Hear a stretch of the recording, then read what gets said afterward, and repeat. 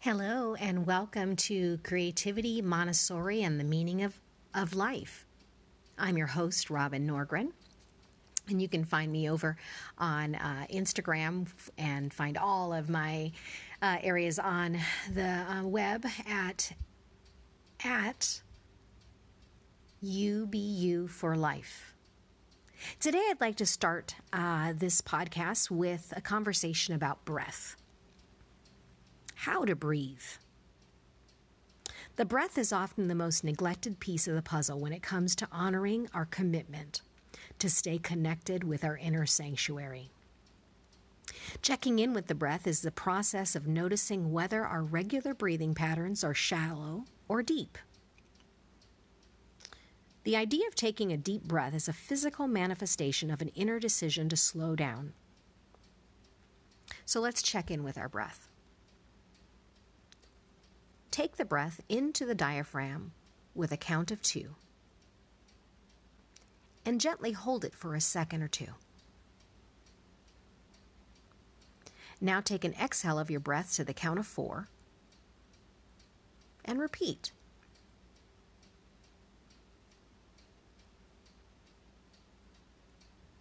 As you get more comfortable with this exercise, add a number or two to the count. So in for three, out for six, in for four, out for eight.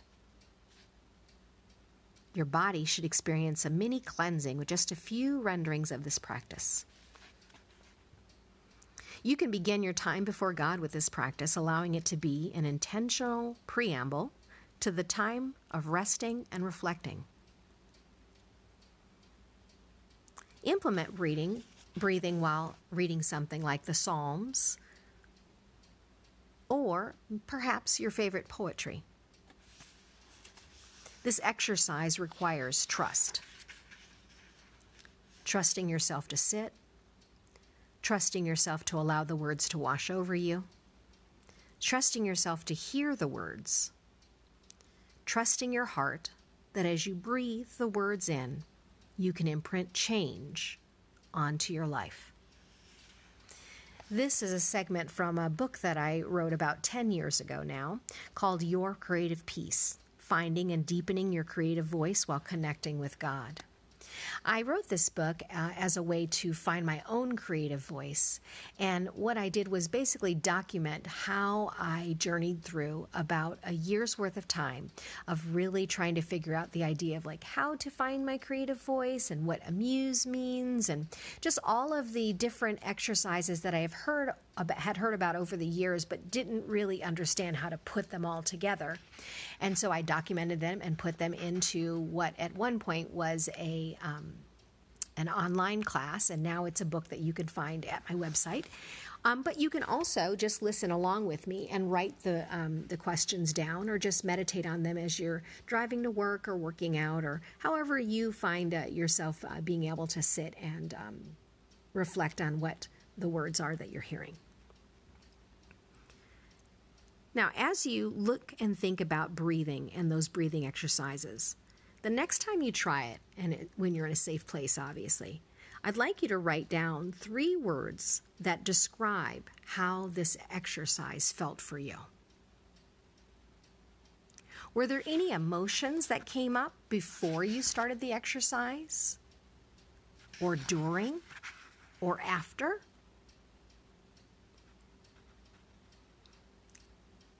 Think about taking some time um, either reading some poetry or reading the Psalms, which is a, a, collection of poems in the Bible. You find it almost in the very middle of the Bible. If you just open it up to the middle, you'll find it. There's about 150 Psalms there.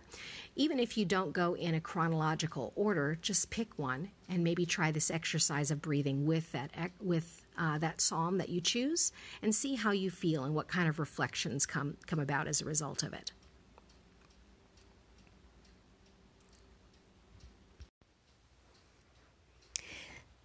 So, um, this ad is sponsored by Anchor. If you haven't heard about Anchor, it's the easiest way to make a podcast. Let me explain it's free. There's creation tools that allow you to record and edit your podcast right from your phone or computer. Anchor will distribute your podcast for you so it can be heard on Spotify, Apple Podcast, and many more. You can make money from your podcast with no minimum listenership. It's everything you need to make a podcast in one place. Download the free Anchor app or go to anchor.fm to get started.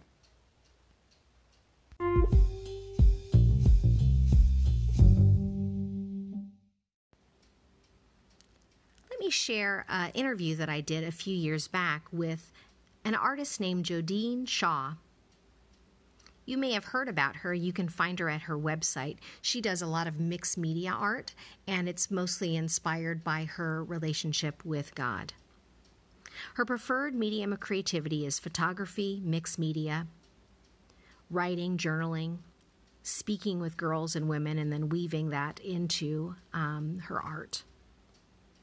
She lived on a family cattle ranch when I talked to her in western South Dakota with her husband Jim and her three children, Tom, Sydney, and Em.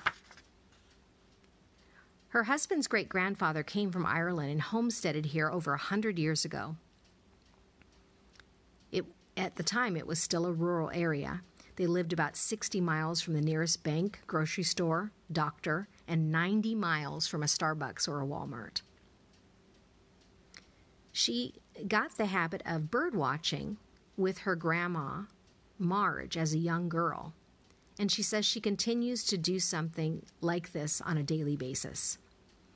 She enjoys reading and watching movies with her family, as well as history and museums. Her creative journey as an adult was relatively new. She had only begun sharing her writing, photography, and art within the last year of when I spoke with her. And she works from home, and her studio at the time was her kitchen table and a counter. You can find her work at jodeneshaw.com. J O D E N E S H A W. As early as she could remember, she said, she had crayons, paints, paper, scissors, markers, all types of art supplies. She said, I believe that is where I discovered that I could indeed create, and I enjoyed it. I believe so much in having those simple tools available to children as early as possible so they can begin to express themselves and communicate. At home or at her grandparents' house, she remembered always creating. She says, I was fascinated by maps and flags of other countries, patterns, also rainbows and color. She says, My creative habits moved into my adult life through scrapbooking, documenting milestones, celebrations, vacations, moments of beauty. These were important for me to remember. The photography and working with paper and colors was her favorite creative outlet, and she viewed it as her time. She says, I developed a habit of Sunday afternoon scrapping while my husband watched NASCAR and my kids would take naps when they were little. In 2006, we were expecting our third child, she says. She said, I struggled with depression off and on for several years. I struggled spiritually, emotionally, financially. The roots of my struggle ran deep back into my early teen years of searching for security, identity, and validity. For those teen years, I seemed able to lean heavily on academic and social success for those three foundation layers of security, identity, and, val- and validity. But as an adult, I rolled that over into seeking that foundation through a career that I thought was the only way to get what I thought was looking I was looking for to find happiness, joy, success, security, identity. My struggle seemed to be very complex. To state it quickly would be to oversimplify it, but here's my attempt. Seeking security, identity, and validity as a person through a career and the image it would be, always on a mission to prove myself to others and especially to me, began to erode all that I was seeking from the inside out.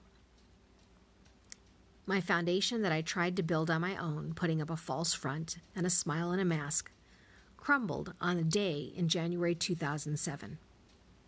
I was broken, raw, exposed before my husband, and I knew I had to live a new way. I did not know exactly how, but I knew it would be different. As the mask of what I now know was pride began to crumble, I began to discover more and more of my true self. And so began a wrestling period with God to find the courage to be who He really made me to be, and to let go of painting a perfect picture image of myself and my life for others to applaud and admire. She says, I felt like I had lived my life as a resume, always trying to prove that I had value and worth, and I was exhausted from it, tired of living that way, ready to walk in truth and be who I really was, be real and find joy in my everyday life. The transition. God has been at the very heart of my creative process and lifestyle. The change began on that day back in 2007 with my crumbling pride which had been like a suffocating skin on the inside on the outside of me. At last I was beginning to break free of it. My Bible study group began a DVD and workbook series, How to Hear God's Voice by Patti and Mark Virkler. I was hesitant to start it, wondering if trying to hear God's voice was okay, or if it would just feel like fortune telling. My hesitation soon melted as I began to hear the Lord care for my heart and lead me into his truth as never before.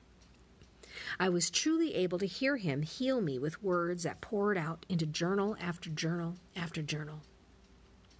My wonderful counselor, the Holy Spirit, poured truth into the places that I had believed lies about, where I would find my security, identity, and validity and joy. I found a firm foundation in a real, vibrant, alive relationship with God. As I read the Bible, the words seemed to come off the page and right into my life. I understood and saw my new with new eyes as I read. Music spoke to my heart constantly. There was a newness to my life. I was beginning to understand how misled I was, and how the Lord was the source of what I was seeking security, identity, and validity. And in Him, I am all that I ever need to be or can be, and am more than I ever can be on my own. My creative my creativity began in this season through writing. My shelves are lined with journals in which these words seem to flow constantly.